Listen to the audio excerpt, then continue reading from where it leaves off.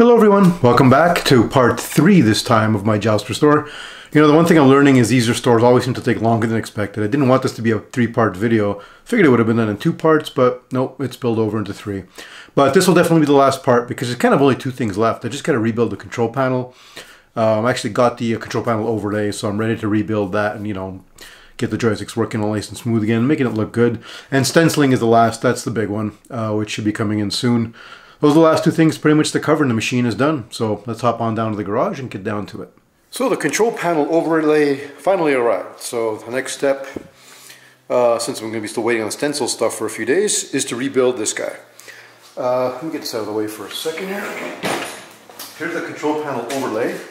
Now these of course come in a tube, uh, so they're kind of curled up. So I laid it flat with some weight on it to help straighten it out a little bit. You know, so it's, it's pretty good now.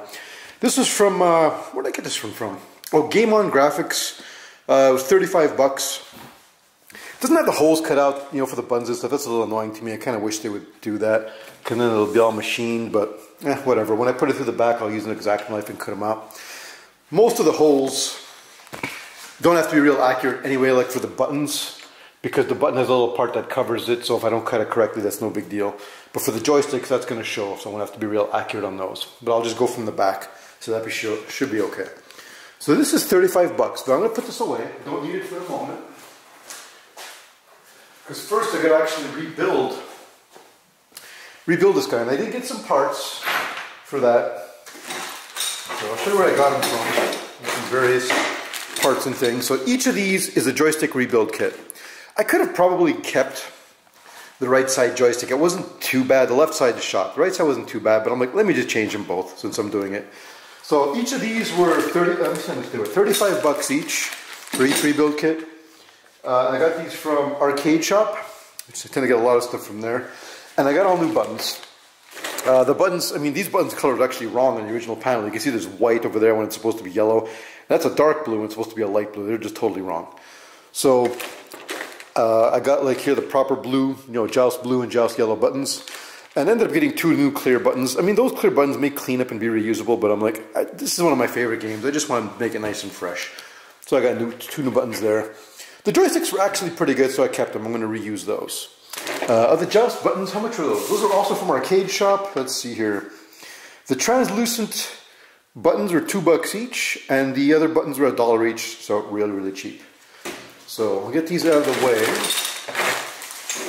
I'm going to put these on my bench because I'm not going to need a rebuild kit just yet. Alright, so the first thing is to take this all apart. So I removed it the same way as last time. You know, with the little five bolts that hold it through, and there's all the bolts and screws and washers and all that kind of stuff. So let's make this nice and wide here. So the first step is to get this thing down to bare so I can take the control panel overlay off. So there's a few things to remove. There's this kind of plastic lip thing here I'm going to have to remove and clean. Looks like it's stapled on, so I'll restaple it back. I'm going to reuse that. And at the back, this is the hinge that kind of connects it to the cabinet. I got to remove that too. Same idea, five more bolts, no big deal. Uh, and then after that, came back to the front. The buttons all have to be removed. It's the only way to rip off the control panel overlay. And I'll start taking apart these because I'm going to rebuild the joysticks anyway. So I'm going to take those apart. Now to let me, let me take these joysticks out once I get the, the joysticks taken apart, after which the overlay should just peel off. So I'm going to get busy on, with that right now. That's my first task, is to get this thing going. I got my ah, Coke Zero, and I got my tools, so I'm going to get busy. All right, everything has been taken apart. So I got things kind of, kind of sort of organized here. This is kind of the joystick um, all the various brackets kind of in the order. I'm trying to keep them like this so I can remember how I actually put them back on. The rebuild kit replaces some of these parts anyway, but that's one of the joysticks there. And that's the other one of the joysticks here. So you can see here it's pretty bare now, and on this side, has LED bulbs only because I had put those there prior, but of course they're the typical burnt, burnt out incandescents.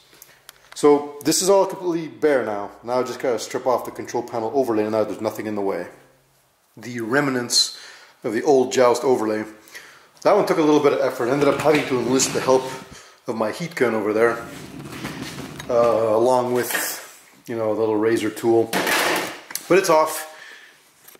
Zoom out here. It was definitely stuck on there really tight. I'm thinking maybe it was the original overlay, that's why, but partly wood, partly metal, and it was on there real, real tight. But it's off now. Normally I would sand these the surfaces and paint or do other things like that. I actually think I'm going to do nothing to this at all, and the reason is it's a very, maybe partly because I use the heat gun, the whole thing is a nice tacky surface now. It's a perfect place to stick an overlay on. Uh, so I think I'm just going to go right on top. It's not like there's any weird gouges or any craziness. So I think I'm going to do that. Just get the overlay right on top of this. And I have to remember, of course, because the overlay new one has no cutouts. So there's going to be one, two, three, four button holes to cut out and two joystick cutouts right here and here. I'll use an X-Acto knife for that. So I'm to get this overlay stuck on here in a minute. Okay, I got the control panel on. The way I ended up doing it, it's always a bit of experimentation depending how the control panel is sized and cut and all that. I wanted to get the flap buttons kind of somewhere in here. So they're in here. On my previous control panel, it was cutting off the word flap. I was hoping to avoid that a little bit. So I lined it so the flap buttons are right about here. Uh, this particular one aligns with the red up on top, the red stripe, and it gives it a lot of extra to kind of wrap wrap around over here. And uh, let's see, on the bottom it looks like that, so the red stripe ends up about there. I didn't care too much about down here. I mostly wanted this area to look good, so I wanted the move and these things to be visible at the good spot. So I took care of that. Now I got to reinstall the little angle and this little plastic piece. This plastic piece was at the end and it was stapled in. I didn't know they sold new ones. It turns out Arcade Shop actually sells this part. And honestly, if I knew, I would have just bought another one rather than try to restore this one because taking out the staples from this was a colossal pain in the ass. But now that this is what I have, I'm going to clean this up, restaple it on. And this one too, I'm going to clean it. I'm actually going to end up painting both to get them both nice matching uniform black and get these reinstalled onto the control panel. So I painted those other two parts, at least one side of them. They're just outside drying. So in the meantime, I figured I'd start uh, reassembling the control panel. I've cut out holes for the, uh, let's see, the buttons here. And they used, uh, what did I do with it? An X-Acto knife. You know, it's still the best tool for the job. So I ended up using that uh, I didn't care as much on the buttons for accuracy because those are going to be covered up. I tried my best over here and here on the joystick uh, joystick openings because these are going to show. I think they're okay. So now I'm going to get all the buttons installed and the joysticks put back in there. Just about done rebuilding the joysticks. I still have to screw that one in, but I figured before I do that I'd kind of show the player one side and kind of why it was messed up and how this thing works. This is the old mechanism and you can see there's the new one that's on there. So, to get apart here. You can see why the damage that's been done over time and why this was so wobbly. So this part kind of sits recessed inside there. And then, let's see if we can best explain this. This kind of goes on top. These kind of hook together like so. And what those do is they kind of hold in place this little guy. This is a little, this guy right here. Has a little notch that sits in one hole at the bottom and there's another hole at the top corresponding on this part here. A little round hole. And what's happened over time because this joystick uh, they kind of jerry-rigged it but it keeps going back and forth and back and forth in the hole and what's happened is it's literally you can see here it's expanded the hole that's why that joystick was so wiggly it's literally expanded it kind of compare the one hole on top, you can see what it's supposed to look like. That one is a little bit closer to the original. This one is just worn out over time. And what they did to kind of fix it, look at this, the metal wore away and they put these little plastic sleeves on it here to try to reduce the wobble. Someone jerry-rigged a little solution on the top and bottom, but that's why this Player 1 joystick was so wobbly. So the rebuild kit comes with all these parts, so you can throw these ones away. I ended up reusing uh, the little uh, leaf switches here because those are perfectly fine. I didn't need to resolder and do everything there. So it ends up being just kind of four screws, hold it up against the wood, and then there's another four, two up here, and then two on top that you got to take apart. Not too bad, but at least you definitely want to get one of these for your joust. Uh, I mean, wow, that player one takes a lot of beating. But right, I'm going to button this thing up. So I'm cutting away here. Uh, I was trying to show what happens to these, you know, control panels on Joust over time. The two, what happens to the two-way joystick? I couldn't get a very good angle over there, so I figured maybe I'll be able to get a better angle here. But basically, you have this little thingamajiggy here. This thing basically here, it rotates left and right, and there's like a leaf switch here, there's like a leaf switch on the other side. So when you move left and when you move right, that's how it triggers the leaf switches. And it sits inside a little bracket, which when assembled, kinda sorta, oh, anyway, kinda sorta looks like this. There's a little, there's a hole on top, and there's a hole on bottom, and this part, with its little two pieces there, sits inside each hole, one on top and one on the bottom. And that's what keeps it. And you notice on, well, maybe you don't remember, but on my joust, it was wiggling quite a bit, the joystick, especially on the left side. And the reason is twofold.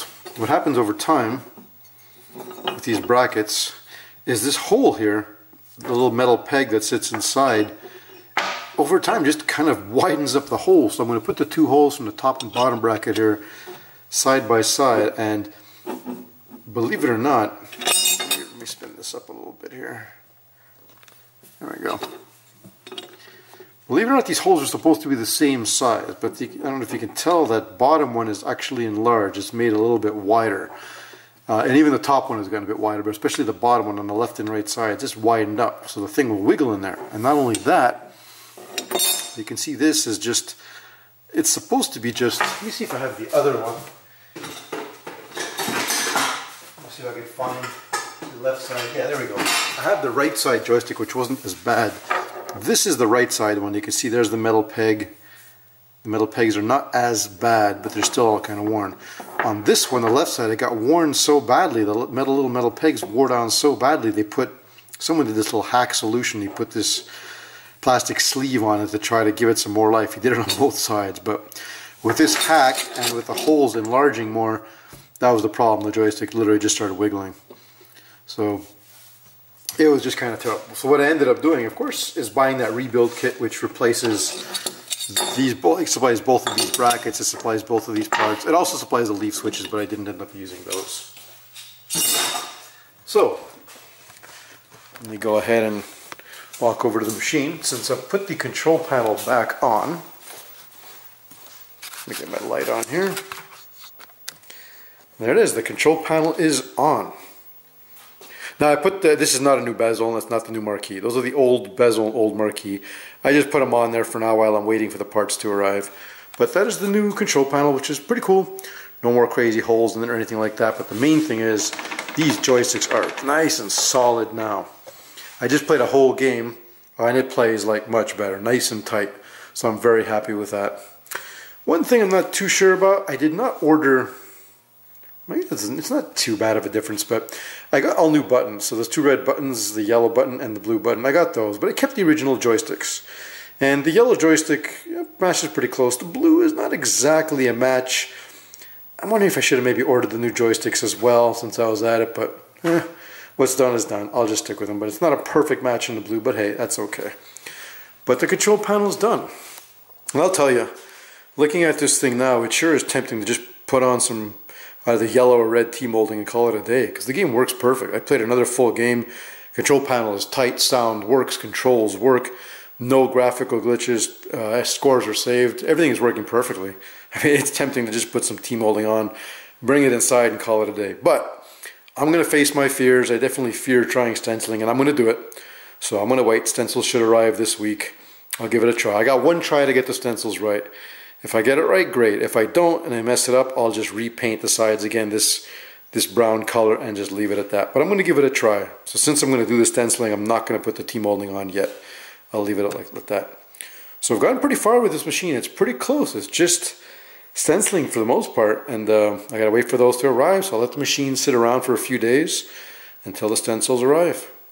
Oh, my new joust bezel came in, so that's kind of cool. I got this one from Arcade Shop, uh, 65 bucks, and it is glass. That's why, of course, it costs a bit more. So what we got here, new one on the left, old one on the right. I mean, right away you can see how much more vibrant the colors are in the new one. You know, those old ones over time, it just the colors just always fade. It just kind of is what it is. Uh, but what maybe doesn't come out is how much the paint is flaked on that one. Now, to be fair, this this one is actually in in, in reasonably good shape. I mean, I, it's possible I could have kept it. Like like I had mentioned earlier, I ended up buying a new one just because this is one of my favorite games of all time. So I'm like, I was going to give it a nice new one. But to show you the type of issues on this one, you can see the paint. This should come out over here. Oh, the paint's all flaking away. And we'll kind of pan across it here. And the light kind of glares a bit, but all along the edge here, there's all kinds of places where the paint is flaking away. Same thing at the top. I probably should have put a white, something white underneath there so you could see it better, but you see at the top it's all missing. And when the light shines through and there's any kind of light of any kind, that's when you really notice it. Whereas, of course, this one here is mint. Very nice job. It looks quite quite accurate. I'm checking the old and the new. I mean, it looks pretty close. I mean, there's some changes over here. And who knows if they're printing errors or what, but there's this weird red stripe on the original, which doesn't kind of make sense there. And this one does not have that, which kind of makes more sense, to be honest. Uh, they got little labels there, Williams Electronics Joust 1982. That's on this one here as well. They got the part number over here, which the original has as well. I guess one of the differences, this part here is actually printed right onto the glass, all the instructions, whereas on this one, it actually isn't. It's a piece of cardboard behind this section. This section is like clear. They just stick it on from the back. But it looks like they got the wording the same. Let me actually double check here. Two can play at once. To mount, to fly. Yeah, it looks all pretty much the same. But all real nice. So that one I'm going to end up selling on KLOV. And that one is time to go put that one right onto the machine. Well, look what just arrived. The game's uh, stencils for Joust. So these took about roughly a month. Got them from GameStencils.com. Uh, I believe they were 85 bucks. And it comes with different layers. Obviously for each side, you can see this is the red layer, the last layer probably to be put on. I should have two of them, yeah, one for each side. Take a look here. And you can clearly see the ostrich dude. So what I did, I did the usual, um, I put some books, when these come in usually in a tube and they're all kind of curled up, so I put some books on them and let them kind of sit here for a few hours with the books on top. And I took the books away, so these are all nice and flat. So, ready to go, ready to embark on this stencil adventure. I have never done this before and I'm a little nervous because you kind of get one shot. If you mess it up, that's it, it's done. The stencils are junk and you got to repaint the cabinet. So I'm going to give it one shot. I figured, hey, if I mess up, whatever, I'll repaint it as brown and leave it at that. But I got to give it a try and see what happens. So I'm going to begin by masking Joust, all the front area, just to make sure it doesn't get any, you know, overspray or anything like that. And then apply the first layer of these guy, this guy here, and see what we got. I got the game outside, uh, all masked. You can see front and back. There's the back. Goes around the top as well. That's ready to go. So I wanted to show something here. I'll lower this a little bit. This is why I don't really care about things being absolutely perfect because my games are not meant to be trailer queens, to use a car analogy. They're going to be used and moved around, and they will get scuffed here and there. So even just in the process of moving it in and out of the garage, well, this comes out or not, I don't know, but there's a little scuff there Of course, coming through a tight doorway, I clobbered it right here. You know, this is going to happen. I can touch this up, whatever, but that's why I don't worry about it. You just kind of get it done, get it looking nice. Don't worry about it being perfect, especially if it's a game you're going to use. If you're making a museum piece or if you're a business that's making these things to sell to customers, it's a different story. But for yourself, I wouldn't let the pursuit of perfection stop you from restoring these things. Just go for it. After little errors here and there, who cares? As long as it looks pretty good you know, and you play the game and you know you restore a game from the save it from the dumpster. That's a win in my book. So this guy's all masked up. Now I gotta get the stencil out and figure out how to put that on. One challenge is figuring out how to align these things to have it look more or less okay. So this is my method. Let me raise this guy here. What I decided to do, you just need a consistent reference point. And what I decided to go with is as follows, and I clamped it up top. This is kind of the end. There's like a, I guess you got to show over here first. You can see there's kind of a white part to the stencil, and then it kind of goes away. This is like the covering. So I decided to align that at the top. This is the easiest way I could think, and I've curled it over here and clamped into place. So this is aligned with the white border of the stencil, as is, well, I guess you can see it right here. Let me hold this by hand, maybe that'll be easier. Okay, so you can see this, there's the white and the blue parts. It's a little tricky here, I'm to try to one-hand it. So I aligned this one, as you can see, to this edge. Curls around there. And it's kind of the same on top. So I've aligned that, that whole top edge with the stencil. And that seems to make it okay everywhere else. So everything goes onto the cabinet. And for example, on the circle here, you know, the gap on the cabinet here in the circle similar there. So I think this will look okay. And that gives me a reference point for the first stencil layer. I'll do the exact same thing on the other side. I line it at the top the same way and it should be good. Uh, I only have to worry about this for the first one, the first layer, because after that, they leave these little squares here. You leave this little square on when you take off the stencil, and the other two layers have an empty slot here. So that's how you align it. There's one there and there's one over here. That's how you align the subsequent layers. So you just got to get that first layer right. And, you know, I don't know, I think it looks okay. So I'm going to do the same on the first and the other side. Peel off the layers and get this thing all stuck down. One quick thing I want to point out, when you're pulling off the stencil layer here, uh, this is like the backing, and then you're going to stick this on onto the cabinet. You do not want to see any white on this part here. That means part of the actual stencil mask is pulled off. And it'll depend on the mask. Some games it'll be more, they might have little fine details and it's possible those will get pulled off. So just be careful when you're pulling it off if you catch that to kind of stop and make sure the white part remains on here. This part here, the stencil should remain clean. This is just meant to be removed and discarded. A couple little more points to bring up. Um, it'll be much easier to see now. But there's two rectangles, you see, and they're always marked like this. Uh, and these are little cutouts. When you pull the stencil off when you're done with it, this rectangle needs to stay. That's a reference point for the next stencil layer. You'll line it up with that one, and there's usually a second one right there. So those rectangles have to stay. Uh, a good little pro tip actually learned from, I think it was the video on the Canadian Arcade YouTube channel, they were stenciling a joust. And he said, for this pass, you want to put a piece of, you always want to put a piece of tape over this because it's a cutout, a little spray paint can get through on the sides here. So you want to put a piece of tape on this. So that's, thanks to them, to them for that. I wouldn't have even thought of that. Um, the other thing you want to look for is, usually the stencils come off, well it seems to have come off fine, but I did notice this. I wonder if how visible this will be. Let's kind of zoom in. Right here, you can see it looks like there's a little cutout that should have come out, and it did not. And I verified on the other side, it is indeed supposed to come out. So I'm to have to get an X-Acto knife or something like that and peel this one out. That is one thing I'm to fix. And as far as bubbles go, you know, I didn't put this on super tight because it's not side art. Who cares about bubbles?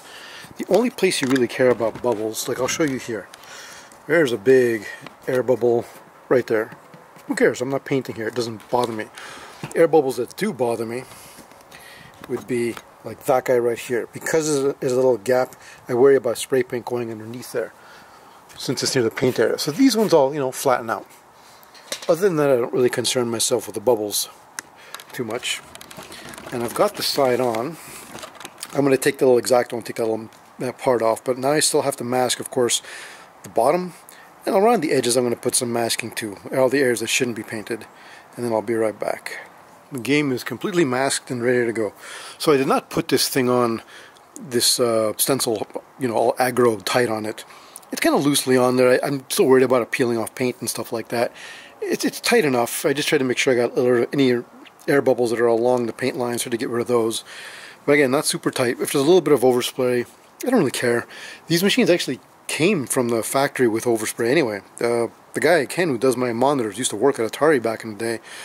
He told me they would put, you know, often the stencil would be like tin just resting on top and they would get spray painted. And that never sat perfectly firm against the cabinet, hence why they got overspray.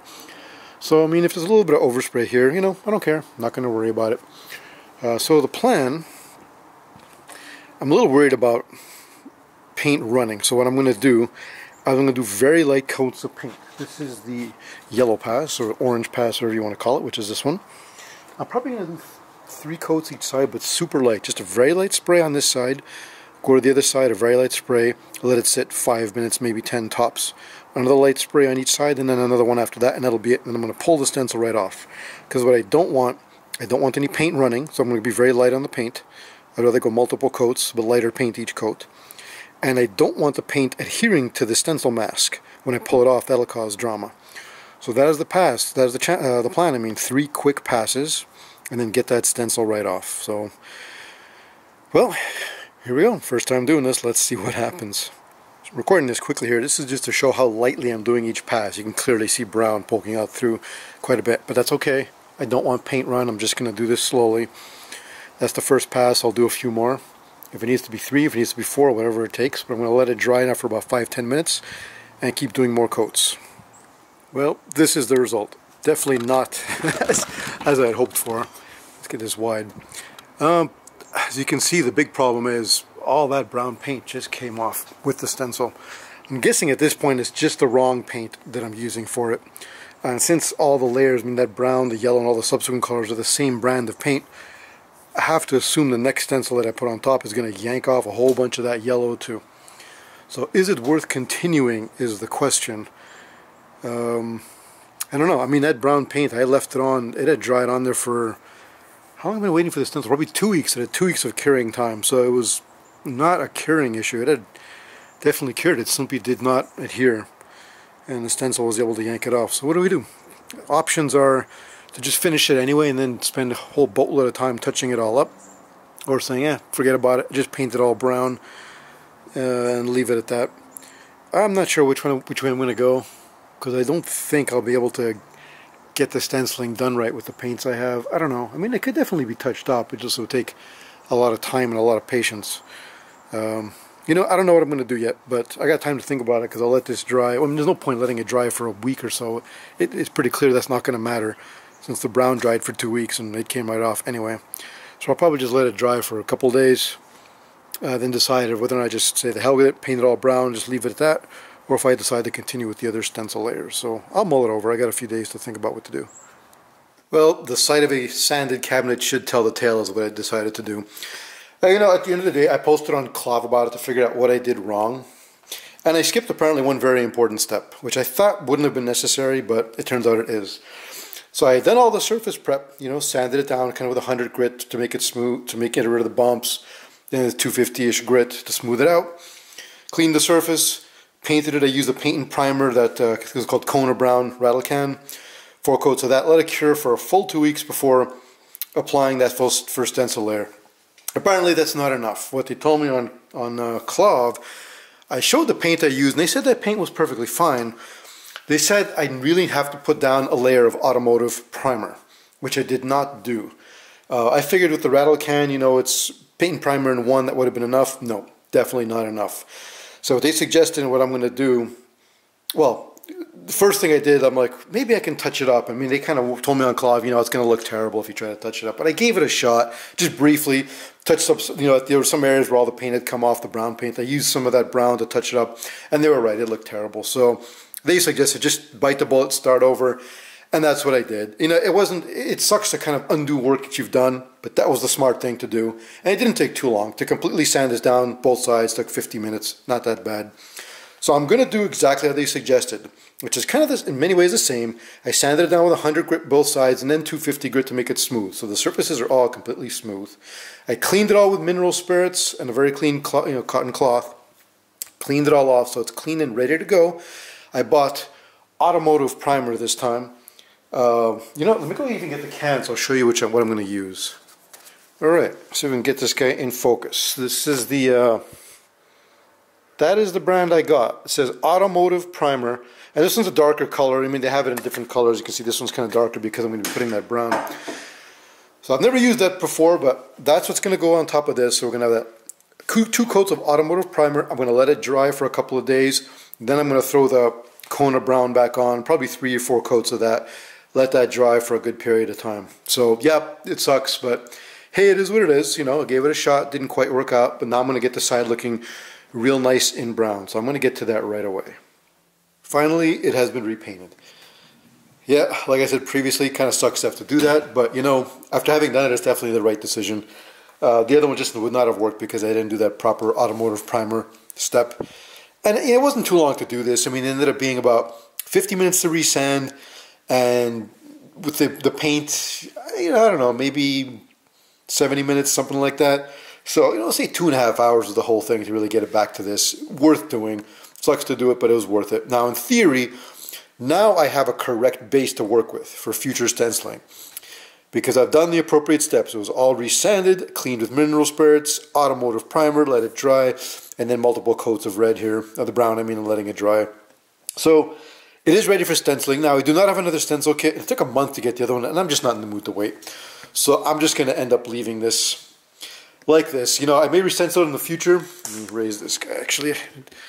I may re-stencil it in the future, but, uh, and if I do do that, I'll just record it. I'll tack on another part to this video. But I'm just not in the mood to do it now. Plus, it would take another month to get it anyway.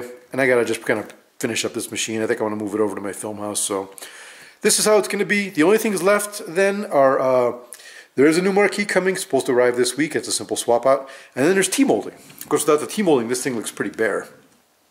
So the question comes down to what color T-molding. I know it came with black, but I'm a fan of colors. So I have a couple here. One option is yellow. And I think yellow would go pretty good with this. The primary reasons I'm thinking of not using this is because I have a lot of games that have yellow T-molding, and yellow matches the player one too much. I kind of want, want to watch match cabinet colors and not player colors. So the yellow looks good, but I think I'm leaning more towards red. Let's get this thing on here. Well, kind of sort of on there. I think that might look okay. You know, it'll kind of match some of the colors up top. I don't know. And the good thing with T-molding is you can kind of experiment and try different kinds of colors and, you know, worst comes to worst, you just change it. I mean, no big deal. I mean, the red will kind of match there a bit. Let's see. I don't know.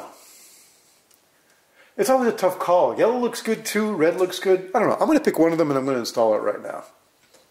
And we have T-molding. Red T-molding to be exact. I don't think it looks too bad.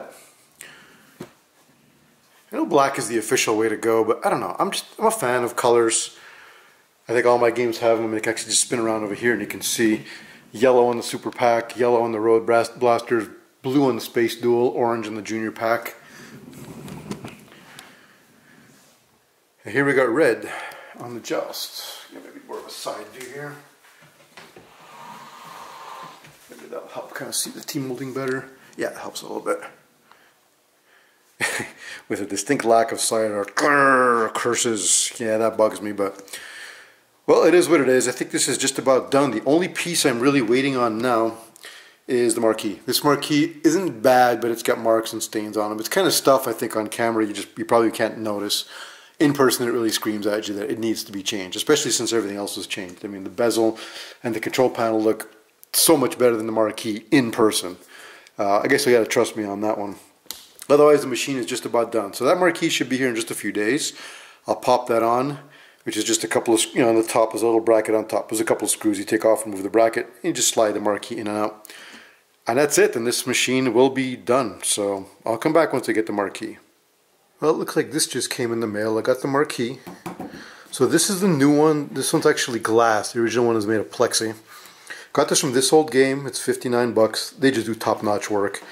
Uh, as usual, a lot of this stuff won't quite come out on camera because there's a lot of glare, but this has great color pop. It feels really nice in glass.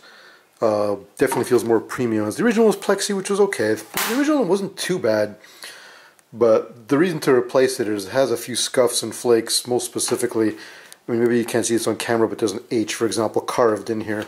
So I'm not going to use that one, but I'll sell it off to someone else because it wasn't in too bad condition. And this is the new one, which is really nice. So I'm going to get this put in right now. Just got the marquee on, and the restoration is now officially complete. Here's the complete game. Pretty happy with how it came out. I'll flash up a picture of what it used to look like. You know, initially it had all kinds of problems. Let me take this thing off the tripod and come closer. Of course, some of the initial things were it was painted all black like they usually are, which is kind of a mess. The marquee had some scuffs and scars. This is a new marquee. This top corner was completely smashed. Now it's nice and smooth. The monitor, for the most part, it had some problems, but it was a pretty simple fix. It was just some adjustments and I had to change that Molex connector to get a good connection. That was an easy fix. The control panel, of course, the overlay was gone on the old one, the nice new one here. I kept the original joystick, so I put new buttons. These are the correct colors, because they're the wrong colors for some of this stuff. Uh, but I did keep the original joysticks. The paint was all done semi-gloss. That's not the recommendation of people on KLOV, and I think that was a good call. It seems to be correct to me. Coin lights are working coined are everywhere here it's all taken care of and inside was all that major work we did changing ribbon connectors changing lots of Molex connectors all kinds of stuff but everything has been working totally solid Actually, if it shows the high score table in a bit, you'll see I've been playing it quite a bit. Hasn't had one problem with the machine.